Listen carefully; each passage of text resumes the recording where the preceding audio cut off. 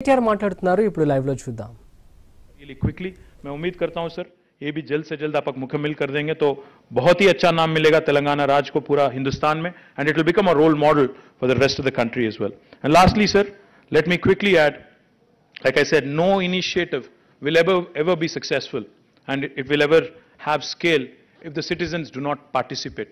So let's promote 1930.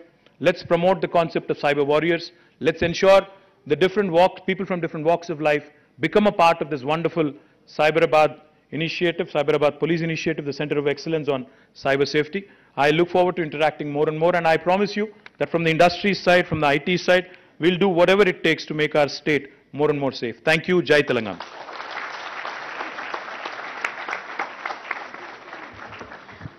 Thank you so much, sir. So as we uh, come to the end of the event, we have a very important, uh, you know, step to complete, and that is to thank uh, many of you who are, here who have been contributing towards bringing this dream to life, the COE. We would like to, uh, you know, really express our deep sense of gratitude by presenting a memento to each one of the advisors who, have come here, made time on a Saturday to be here with us.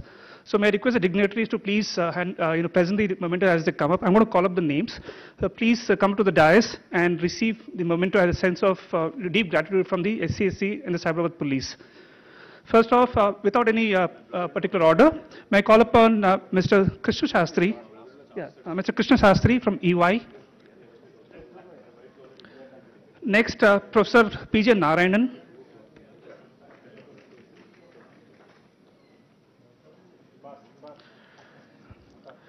Then we have Rajiv Kumar from Microsoft. Professor B.S. Murty from IIT Hyderabad. Manisha Saboo from Infosys and President HYSEA. Ms. Lakshmi from CDAC.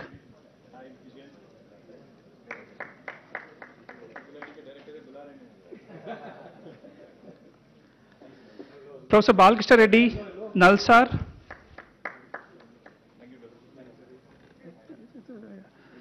Yeah. Professor Mahindra Agarwal, Deputy Director IIT Kanpur and Project Director of C3I Hub.